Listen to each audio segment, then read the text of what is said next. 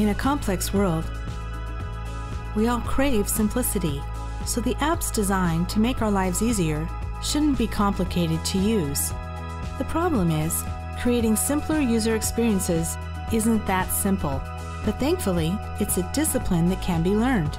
Introducing Simple and Usable, a how to for creating simple user experiences that people will love.